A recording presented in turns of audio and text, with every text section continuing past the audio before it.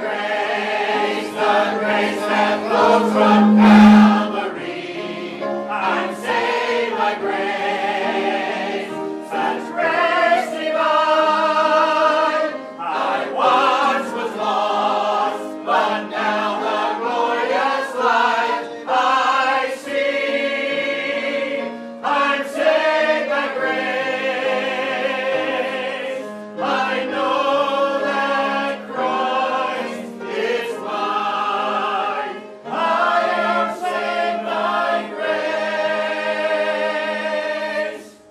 Take your Bible this morning and turn to 1 Corinthians chapter 15, please.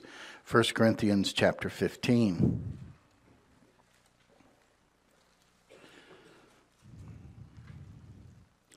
Two verses I want us to read in unison together this morning, verses 9 and 10 of 1 Corinthians chapter 15. And as our custom is, let's all stand together to read the scripture. All of us standing, please, to read God's word. And we'll read verses 9 and 10 in unison, beginning with verse number 9 of 1 Corinthians chapter 15. Ready? For I am the least of the apostles that am not meet to be called an apostle, because I persecuted the church of God. But by the grace of God I am what I am, and his grace which was bestowed upon me was not in vain but I labored more abundantly than they all. Yet not I, but the grace of God which was with me. And let's pray together, shall we? Father, we ask you to add your blessing, please, to the reading of the scripture here this morning. We thank you, Lord, already for the wonderful music today. And Lord, the good fellowship together and the good spirit in this place. And Lord, we're asking now that you would continue to prepare our hearts that we'll be ready to receive your word this morning. That, Lord, you'll bless the special as it's sung, and it'll cause our focus and our attention to be drawn to you. Lord, don't let our minds wander and think about other things that would keep us from receiving the message you have for us today. Bless the special to that end. In Jesus' name, amen.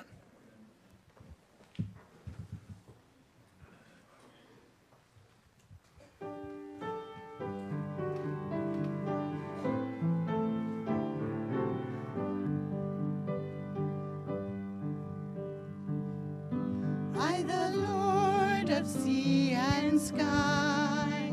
I have heard my people cry, all who dwell in dark and sin. My hand will save. I who made the stars of night,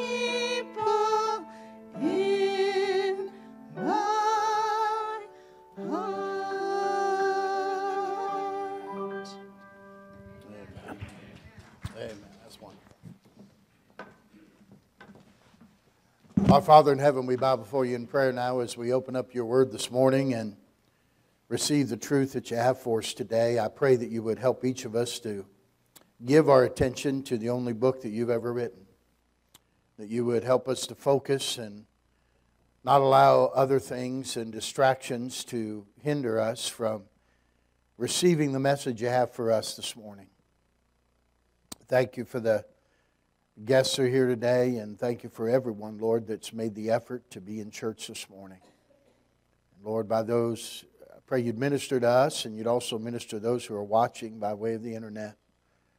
Lord, I pray that we would somehow again be able to grasp in some capacity how wonderful your grace is to us. I guess for lack of any other adjective, we just say it's amazing grace. We love you this morning. I pray you'll bless the message to our hearts today, as only you can do. In Jesus' name, amen. What is grace? Amazing grace. We know we define it sometimes as God's unmerited favor, undeserved favor. We sometimes call it God's divine influence on our heart, God's divine encouragement, or His sufficiency for our insufficiency. Grace, somebody said, is the president of Kroger's giving you a free trip to Hawaii, even though he knows you shop at Costco. That's grace. Grace is God allowing us into heaven despite having sinned and come short of the glory of God. That's pretty amazing. You see, grace is exhibited in the desire and the willingness and the ability to grant favor as a gift where it's not, not, not deserved. It's graciousness, not just in in words but in actions. The divine influence is exercised in the heart of God, and He gives that grace to us that we could exercise it to others. I want you to understand that the New Testament is not the, the part of the Bible that's full of grace, and the Old Testament is, oh, that's all. We don't have to listen to that. That's all part of the law. I, I just read this morning there's a there's a famous pastor in America who has come out saying that, you know, we got to quit putting up Ten Commandments. They're not for us. I got news for you. The, the Bible's for us, and the Ten Commandments are for us. Uh, we don't get them to go to heaven, but they sure are a good code of conduct to live by. Amen? Grace was before the law was ever given. In Genesis 6 and verse 8, Noah found grace in the eyes of the Lord. God was gracious before the law, but God was gracious during the time they had the law. Let me read you Jeremiah 31 2. It said, Thus saith the Lord, the people which were of the sword found grace in the wilderness, even Israel, when I went to cause him to rest. Israel found grace even in the wilderness. So God's always been gracious. How do I know that? Because He said, I am the Lord thy God, I change not. So God's, God's the same yesterday, today, and forever. So if He's gracious now, He always was gracious. Don't, don't think, oh man, I'm glad I wasn't in the Old Testament and God just wiped people out. You know, I'm glad I'm under grace and not under law. Well, God was gracious then too. Just as God is gracious to you and me now, He's gracious us. Now, the grace of God has many facets to it. I, I don't know if I mentioned last week, I mentioned to several, I think, in private conversation. This is, this is something I really, uh, I, am really wrestling with grace, Brother Yoder. You know, I, I'm, I like a, I like something I kind of get a hold of and, and I can put it into a one, two, three, you know, uh, uh, format. And, and grace is so huge and, and so all encompassing and so all filling and so many sides of it and so big, I, I'm having trouble getting my arms around it. I don't know that I ever will. But I, so I just try to, I kind of feel like I just take off a chunk and say, well, I'll give them this chunk tomorrow and we'll see what happens. Uh, it, it's, it's just amazing to me the grace of God. But, we, we, but can I say this? Everything we have is by God's grace. Everything we have is by God's grace. Our salvation is by grace. But the Bible says we, we get the Spirit of God by His grace. It says, uh, Paul said in Acts, I commend you to the word of His grace. Why do you have a Bible today? Because God's gracious to us to give us His word. So we have His Spirit by His grace and His word by His grace. We, when we pray, we come boldly to the throne of grace that we can obtain mercy and find grace to help in time of need. Everything is by God's grace. It was, it was wonderful to see this past Monday night when Clemson beat Alabama for the national title of NCAA football to their coach, Dabo Swinney, is, a, is an outspoken Christian. And for him to say, you know, it's just the grace of God that we can experience this that he gave the, the glory to God uh, for the opportunity to be in a game like that. Didn't put it on himself, didn't say, well, you know, I'm one of the greatest coaches of all time, or, or you know, these guys did this or that. He just said, gave the glory to God. And, and he recognized the grace of God. The grace of God. So uh, I'm glad for the grace of God. There's three, three facets or three aspects I want to talk to you about grace this morning. The first is saving grace saving grace. The Bible says in Ephesians 2 8 and 9, For by grace are ye saved through faith. And that not of yourselves, it's a gift of God, not of works, lest any man should boast. So we know we're saved by grace. We understand we're sinners in the sight of a holy God. God is holy, God is light, and in him is no darkness at all. There's no sin at all. And so we understand we're all sinners. When I give this in the prison, I always say, Romans 3.23, for all have sinned and come short of the glory of God. And, and I say, now what does all mean? All means all. That's all all means. Now it's easy when I'm in and sitting and the guys are all in blue and they got numbers on their chest to say, okay, do I have to spend a long time here saying that we know we've done things wrong? Do we have to know that? Uh, how, many, how many guys say, well, admit I've done things that God says I shouldn't do? Well, of course, I'm in prison. Of course, you know I've done something wrong. It's not so easy when I'm looking at these folks with no number on your shirt to say that you and I are guilty in the sight of God. We do not deserve to go to heaven.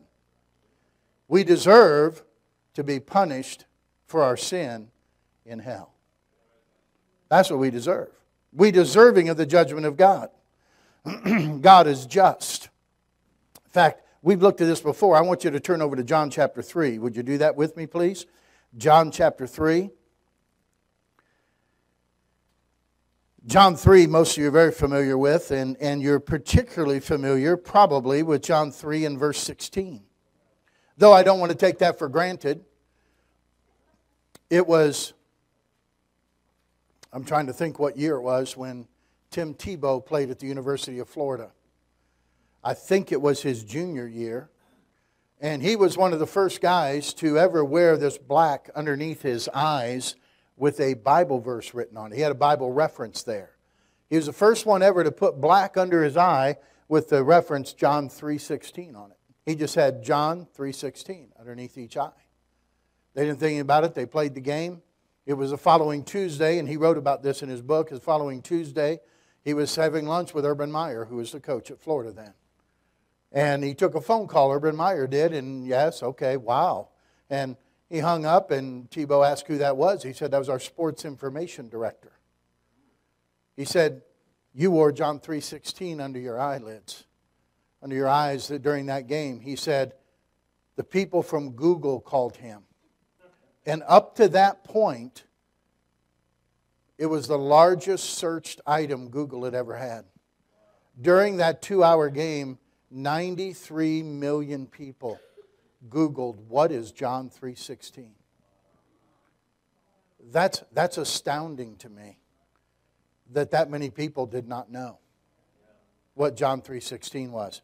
But uh, I don't take it for granted that you know John 3:16. But the Bible says, "For God so loved the world that he gave his only begotten Son, that whosoever believeth in him should not perish, but have everlasting life. Now, a lot of people know that, but they sure don't have any idea what 17 and 18 say. Keep reading with me, will you please? For God sent not his Son into the world to condemn the world, but that the world through him might be saved. So, did God send Jesus to condemn the world? No. He sent him to save the world. Now, my question is why won't Christ condemn the world? Well, look at verse 18. He that believeth on him is not condemned. You believe on Jesus, you're not condemned. But he that believeth not is condemned already, because he hath not believed in the name of the only begotten Son of God. Someone is born and they live and they do not believe in Jesus Christ, they do not trust him as their Savior. He doesn't have to condemn them, they're condemned already. We're, we're, we're born under that condemnation. The only way to get out from underneath that condemnation is to put your faith in Jesus Christ. He's the only way out. He's the only, only way you can have salvation. When we say you're saved by grace, why would God send His only begotten Son to die for me? Grace. There's no other way to explain that. Just simply His grace. When we say we're saved by grace alone, we mean it's that our salvation from the wrath of God and the condemnation of God, our deliverance from hell, is because of something good in God, not something good in us. Do you get that? Our salvation is not because there's something good in us, it's because it's something good in God that He would want to save us. See, grace means there, number one, there's something good in God, and number two, there's nothing good in you and me. Now, I know we don't have a problem with the first point. God is a good God and He does good things. We would say, that's, that's right on, preacher. But when we get to us and we say, I know that there's nothing good in us, whoa, whoa, whoa, wait a minute, preacher. So we don't like that because our pride gets in the way of that. Say, ah, I'm, I'm a good person. I'm, I'm, I'm this or I'm that. So we have to be very careful that, that we, we, we don't we, we feel like it's too harsh or too judgmental on ourselves. Do all, listen, do good people go to heaven? Careful. This, this, this, this boggles me every time I see these statistics. In a recent survey, 84% of evangelical Christians agreed with this statement that when it, quote, when it comes to salvation, God helps those who help themselves. Now, by the way, God helps those who help themselves is not in the Bible. It's not Scripture. And certainly, it is so far removed from salvation. Hear me this morning. I don't want to be misunderstood at all. And if you ever come in and you sit in, a, in, the, in the Bible preaching at Bible Baptist Church, you want to know something that it's nothing that you do, none of us are good enough to get to heaven. All have sinned and come short of the glory of God. None of us are righteous. No, not one. God, God doesn't save those who help themselves, God saves those who are helpless themselves. And God saves us by His grace. In that same survey, 49% agreed. That's almost half of them. Half of the people in gospel preaching churches agree that there are other ways to come to God besides Jesus Christ alone. That I about need duct tape to hold my brains in. That, that just floors me. Are we that influenced by the world? That influenced by the media? By the political correctness of our age? We just spoke in Sunday school this morning. Jesus said, I am the. No, we didn't. Boy, I'm going to go home now. What the... I am the door. The door. Boy, we spent all that time on the door, and I said, I am the, the way. Oh. Sometimes you just feel like a complete failure, Brother Yoder, complete failure. He's the door, not a door, Not one of the many doors, He's the door.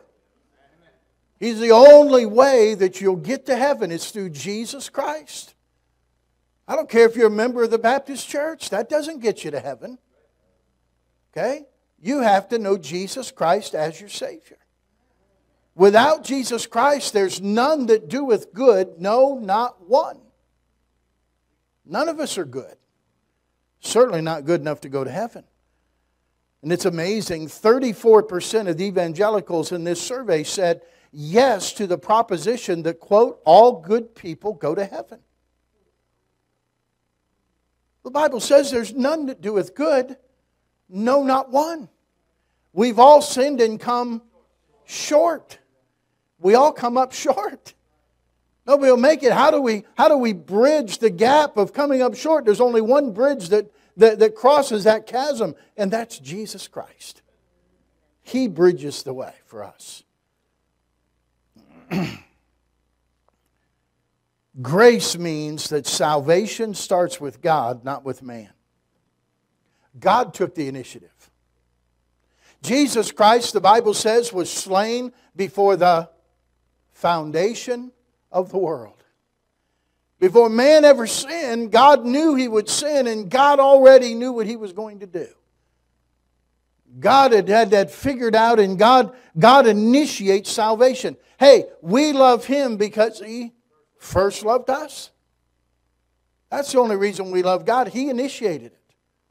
He come to seek and to save that which was lost. If he didn't make the first move, you and I would never make any move at all. Grace doesn't mean we do our part and God does his. Grace means we owe everything to God.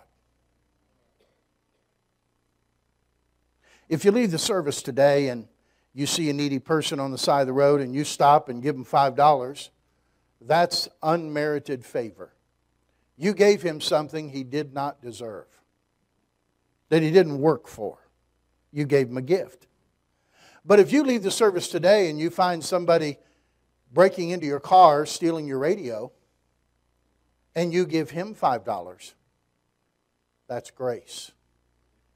Because you've given him the exact opposite of what he really deserves. That's what God did for us through Jesus Christ.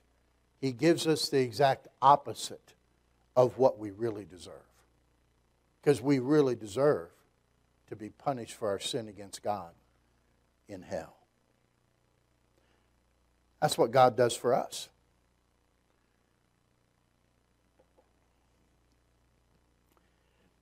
Luke 18. You're in John 3 there. Just go to your left a little bit to Luke 18. This is interesting parable Jesus gave to the Pharisees, to, to people who thought they were righteous and everybody else wasn't. Okay? Self righteous. Jesus gave this example. Look at verse 9 of Luke 18. Are you all right? Okay? It, we'll, we'll get out a little bit later than normal because Xavier took so long in his testimony. All right? And, um, and I'm kidding. All right, verse 9. And he spake this parable unto certain which trusted in themselves that they were righteous and despised others. Two men went up to the temple to pray, one a Pharisee, the other a publican. Now that's publican, not republican, okay? But it's a, it's a Pharisee. A Pharisee was a real religious person, very religious. Pharisees were very proud. Pharisees kept every law. In fact, they added laws in just to make sure that they would be better than anybody else. Pharisees often would, would uh, the leaders would carry a big key. Um, uh, picture a big skeleton key, big, bigger, big as my tie, bigger probably. And, and they would carry their, you know what that is? That was the key to all knowledge. Just, just ask me. I hold the key to all knowledge. Okay? Nothing prideful there, is there? Uh-uh. You know, sometimes we'll joke, and my wife will say something, and she'll say, I didn't know what to do here. And I said, You should have uh, come to the source of all wisdom. And uh, now, of course, I'm, I'm teasing, okay? And uh, sort of. No, but I'm, I'm kidding. And so the Pharisees weren't. They were being honest, okay? and they were being very prideful. So God says, okay, here's a Pharisee, here's a publican. Publicans were known to steal and cheat and lie. Nobody liked the publican. Okay? And so here's a Pharisee and publican. Which one do you think is going to go to heaven? Well, the religious guy. I mean, notice what he says. The Pharisee stood and prayed with himself God, I thank thee I'm not as other men are, extortioners, unjust, adulterers, or even as this publican. Okay, so what do you do, Mr. Pharisee? I fast twice in the week. I give tithes of all that I possess. Well, he's pretty good. He does. He's not an extortioner. He's not. He's not a uh, uh, unjust. He's just in his dealings. He's not an adulterer. He's faithful in his marriage. He's uh, he's not the publican. I fast twice a week. I give in that offering when it comes around. Now, who do you think's going to heaven? Well, there's a pretty pretty religious guy. If you're looking just outwardly, you'd say that guy's a pretty good guy. I mean, he's a pillar in the community. Then there's a publican. Notice what the publican does? Standing afar off, would not lift up so much as his eyes unto heaven, but smote his breast and saying, God, be merciful to me, a sinner. I tell you, is Jesus speaking, this man went down to his house justified rather than the other. For everyone that exalteth himself shall be abased, and he that humbleth himself shall be exalted. You know why it's difficult for man to say that it's all God and it's nothing of me? Because that's humbling. Why does man come up with, I got to keep commandments, I have to get baptized, I have to go through confirmation? Because we want to say, I did something to go to heaven. It's humbling to say, I have to surrender and accept what Jesus has done for me. That without Him, I can't get there. I can't be saved. You just cry out to God God, have mercy upon me. have mercy upon me. Save my soul. God saves you. That's it. say, man, is that fair? I don't know if it's fair or not, but it's gracious. It's grace. It's grace. Let me relay a story to you. A pastor gave this story, it perfectly illustrates God's amazing grace. He said this I never dreamed that taking a child to Disney World would be so difficult, or that taking such a trip would teach me so much about God's amazing grace. He said, Our, our middle daughter had previously been adopted by another family. I'm sure this couple had the best of intentions, but they never quite integrated the adopted child into their family of biological children. And after a couple of rough years, they dissolved the adoption, and we ended up welcoming an eight year old girl into our home. For one reason or another, whenever our daughter's previous family vacationed at Disney World, they took their biological children with them, but left their adopted daughter with a family friend. And at least in the child's mind, that happened because she did something wrong that kept her from being present on the trip. So he said, when we adopted our daughter, she had seen many pictures of Disney World. She heard about the rides and the characters and the parades. But when it came to passing through the gates of the Magic Kingdom, she'd always been left on the outside. He said, When I found out about this history, I made plans to take her to Disney World the next time we would have a vacation. He said, I thought I had mastered the Disney World drill. I knew from previous experiences the prospect of seeing cast members in oversized mouse and duck costumes somehow turns children into squirming bundles of emotional instability. He said, What I didn't expect was that the prospect of visiting this dream world would produce a stream of downright devilish behavior in our newest daughter. In the month leading up to the Magic Kingdom vacation, she stole food, when a simple request would have gotten her a snack. She lied when it had been much easier to tell the truth. She whispered insults that were carefully crafted to hurt her older sister. And as days on the calendar moved closer to the trip, her behavior just got worse.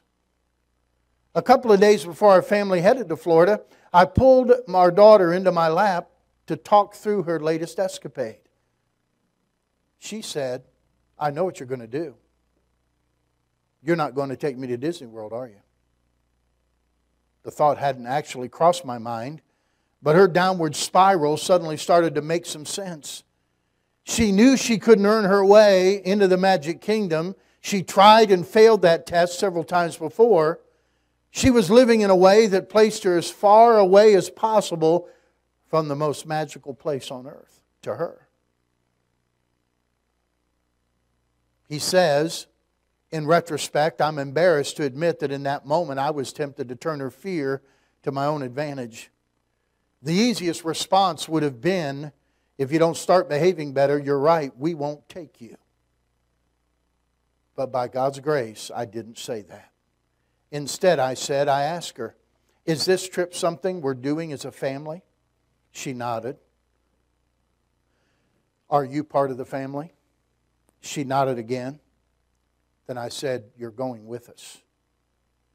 Yes, there may be some consequences to help you remember what's right and what's wrong, but you're part of our family, and we're not leaving you behind.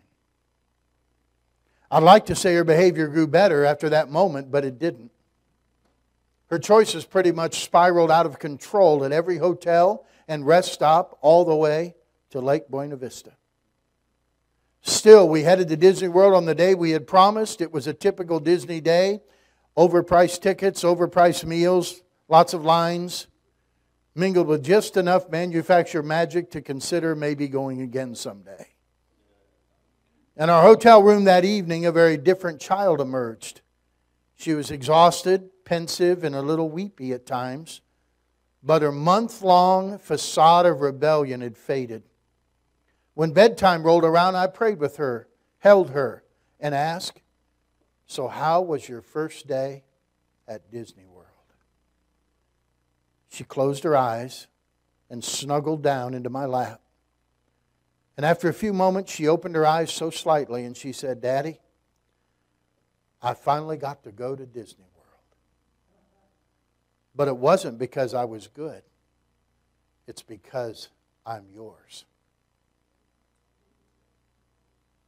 It wasn't because I was good, it's because I'm yours. That's the message of saving grace. One day when the Lord calls us home, you're going to look him, you're going to say, I'm here. But not because I'm good, because I'm yours. I'm yours. That's the only way you get there. That's saving grace. But God doesn't just give us saving grace. I want you to look at Second Thessalonians, where God gives us securing grace. Securing grace. Not only saves us by grace, he secures us by grace. In Second Thessalonians chapter 2 and verse number 16, the Bible says this Now our Lord Jesus Christ Himself and God, even our Father, which hath loved us and hath given us everlasting consolation and good hope through grace, comfort your hearts and establish you in every good word and work. In 2 Timothy 2 and verse chapter 1 and verse 9, the Bible says, who has saved us and called us with a holy calling, not according to our works, but according to his own purpose and grace, which was given us in Christ Jesus before the world began. God, we are saved by his grace and we are secure by his grace. Nobody, nobody is saved by grace and secure by works. I didn't do anything to get in. I can't do anything to get out. You know, it was a blessing, I'm sure, for Jack and Sherry to sit and listen to those two girls sing this morning. There's no greater joy, you know, than to hear your children singing for the Lord, your children serving God. The truth is, those kids, he had three children, and of course, his son's a missionary in Honduras.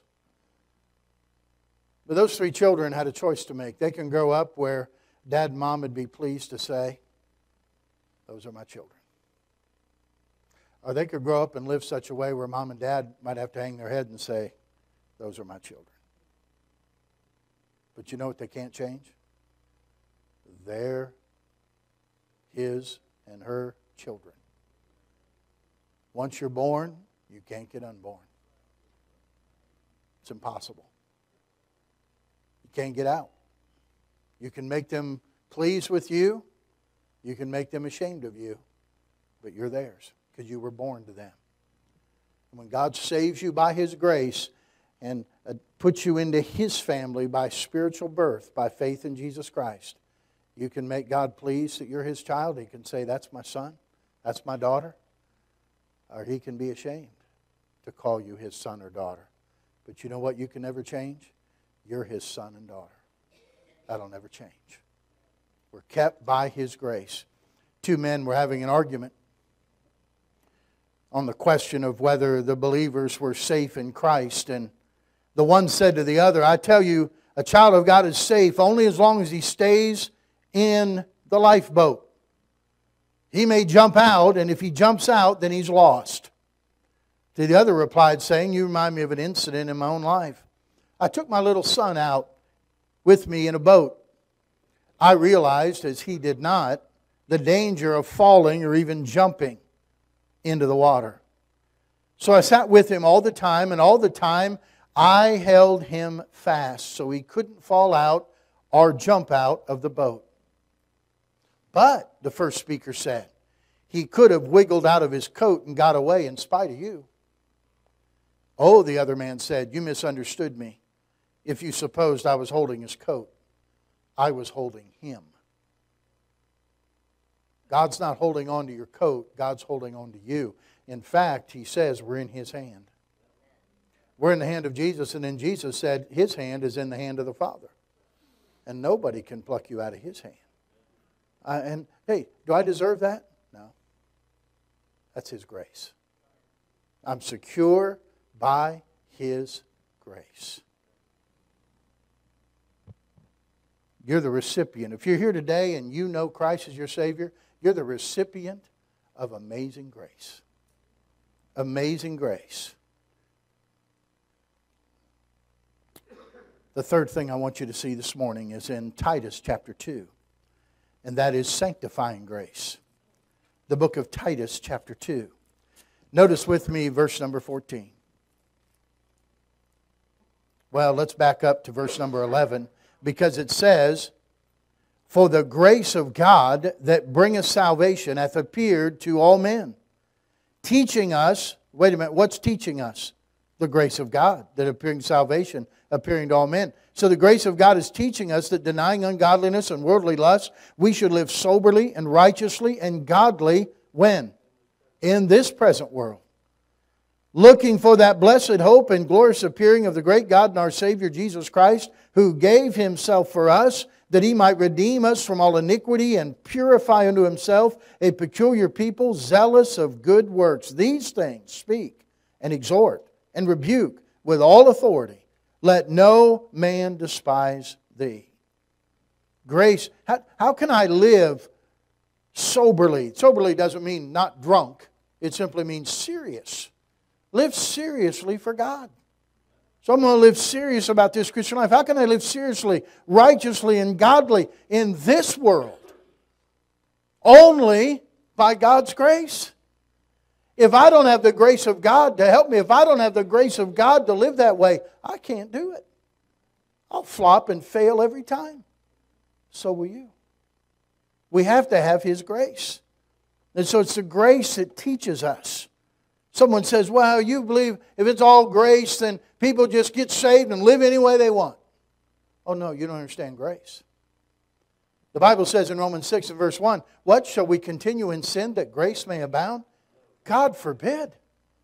How shall we that are dead to sin live any longer therein? Say, no, no, no, no. You understand? God gives us the, the ability now and the desire to live right. I tell those guys in prison, You have to understand something. God changes your desires.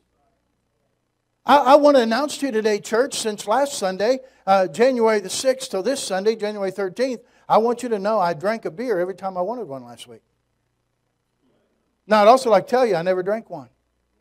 You know why? I had no desire to have one. You understand? I don't want those things anymore. I don't want things that, that, that would hurt God.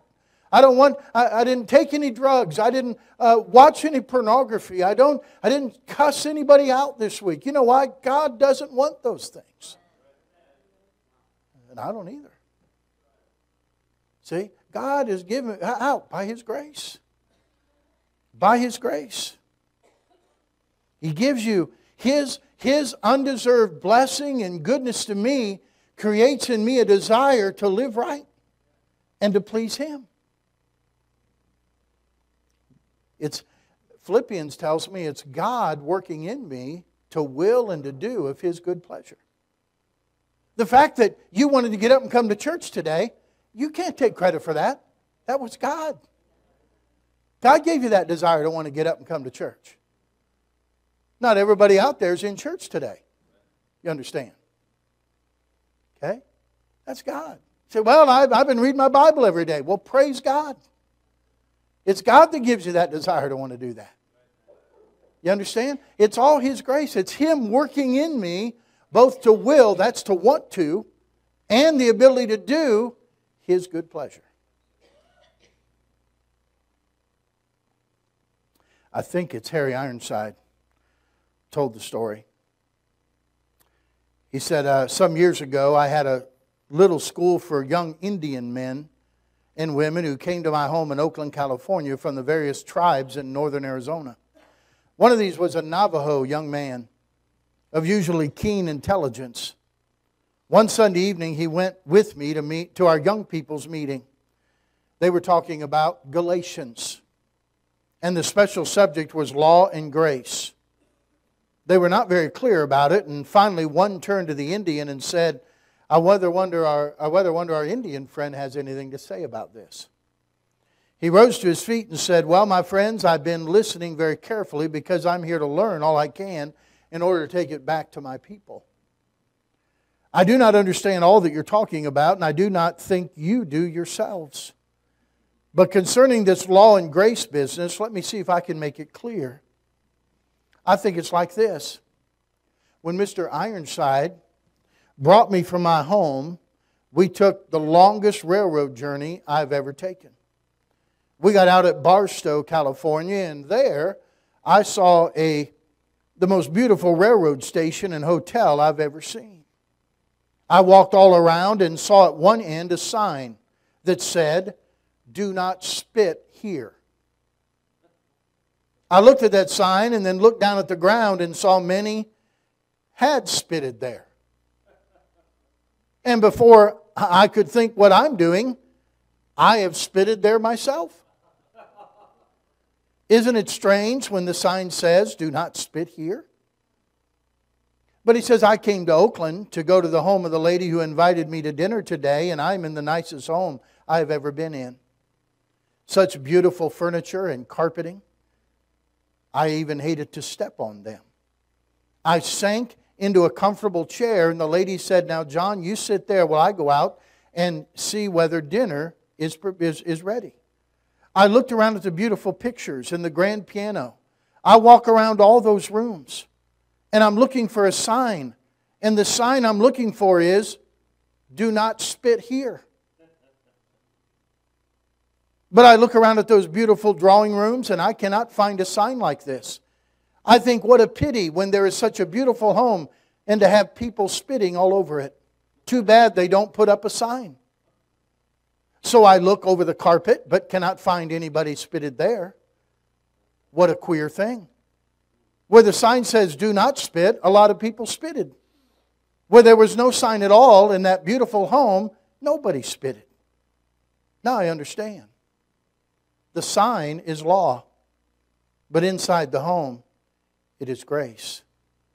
They love their beautiful home and they want to keep it clean. They do not need a sign to tell them so. I think that explains this law and grace business. As he sat down, there was a murmur of approval that went around the room.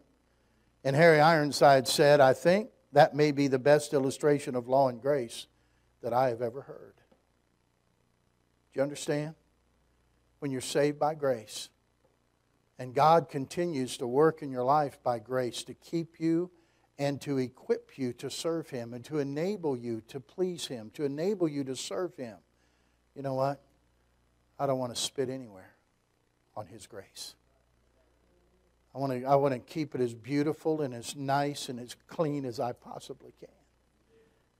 God's grace is amazing. Amazing grace. That's why Paul said in the text we read today, by the grace of God, I am what I am. I hope you can say that today. By the grace of God, I am what I am. God's grace is amazing. God's grace is admonishing. But the good news is God's grace is available. If you've never been the recipient of God's grace, you maybe made your way in here and it's not normally where you might go to church, or uh, you just had a prompting this morning to get up and come to church and this is where you came, but it might have been exactly what God wanted you to hear. Because God wanted you to receive His grace this morning and receive Jesus Christ as your Savior and receive His gift of eternal life and to settle this matter of where you'll spend eternity. If you've never received Christ as your Savior, Receive Him today. Accept His gift of eternal life. Say, Oh, I don't deserve it. Hey, I got good news for you. None of us do. None of us do. We're all undeserving, but thank God He offers it to everyone. Whosoever will call upon the name of the Lord shall be saved. You're one of the whosoevers. Thank God I was too. Amazing, amazing, amazing grace. Let's pray together, shall we? Father, take the truth this morning. Thank you for your amazing grace that saves us, your amazing grace that secures us, and your amazing grace that sanctifies us. It sets us apart, enables us to live a life that pleases you. It's all because of God's grace. I understand more and more as we as I study this wonderful, wonderful aspect of grace, this attribute that you have. It's just amazing. Thank you for being so gracious to us. Minister and speak to people's hearts this morning, Lord. And I trust your will to be done in each and every life.